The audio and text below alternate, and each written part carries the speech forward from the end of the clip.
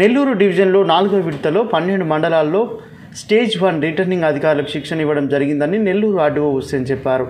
పొదలకూరు మండలంలో ఎంపీడీఓ కార్యాలయంలో జరుగుతున్న స్టేజ్ వన్ రిటర్నింగ్ అధికారుల శిక్షణకు ఆర్డీఓ హుస్సేన్ పాల్గొని సూచనలు చేశారు.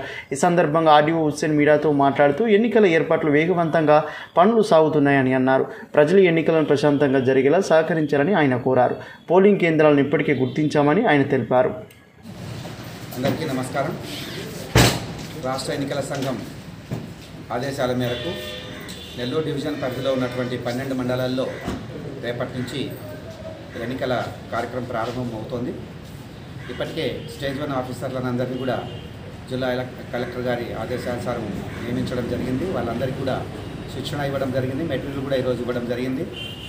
మరి ఈరోజు పొదలకూరు మండలం ఎంపీడీఓ ఆఫీస్ని దర్శించడం జరిగింది. ఇక్కడ ఏ- చూస్తున్నటువంటి ఏర్పాట్లన్నీ కూడా పరిశీలించడం జరిగింది.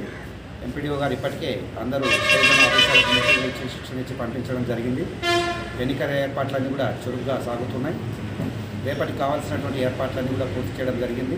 నామినేషన్ స్వీకరించేటువంటి కేంద్రాల్లో అన్ని ఏర్పాట్లు చేయడం జరిగింది.